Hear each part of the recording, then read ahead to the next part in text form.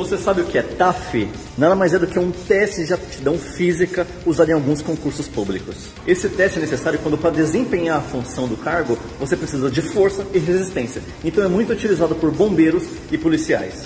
As quantidades de repetições e os exercícios variam muito de homem para mulher e pelo concurso, mas no básico é barra, flexão abdominal e corrida. Vou dar algumas dicas de como se preparar, o que fazer e o que você não deve fazer no dia. No abdominal você deve começar com o corpo totalmente esticado e deitado no chão. E quando subir, os braços passarem a linha do joelho. Em hipótese alguma, puxe o seu joelho. No caso da flexão, você vai iniciar com as duas mãos no solo, paralelas ao seu ombro. Nunca deixa aberto e nem fechado. E durante a execução, não pode ficar movimentando as mãos.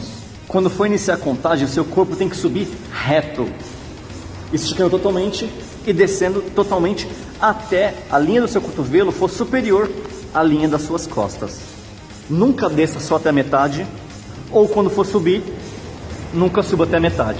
Aí ah, também não vai fazer flexão igual a uma minhoca. No caso da barra, geralmente tem um apoio para você subir e depois iniciar com as mãos na barra.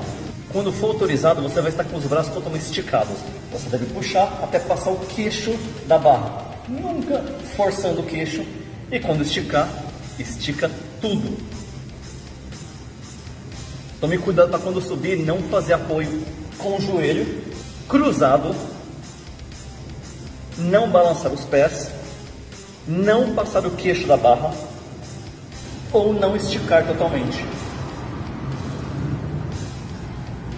A dica é que do ombro para baixo seu corpo tem que estar estático a distância mínima e o tempo de prova varia de concurso para concurso, mas normalmente é avaliado qual distância você consegue percorrer correndo durante 12 minutos.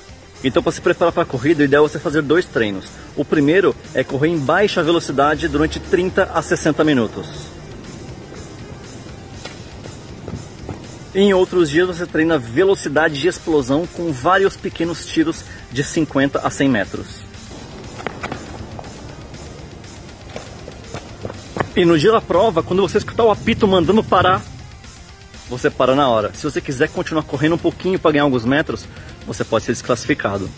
Talvez fazer todos os exercícios e até uma sequência longa de barras seja algo que você não consiga fazer do dia para noite. Precisa de força, dedicação e muita paciência. Então comece já a treinar e manda esse vídeo para aquele seu amigo que sonha um dia passar no TAF.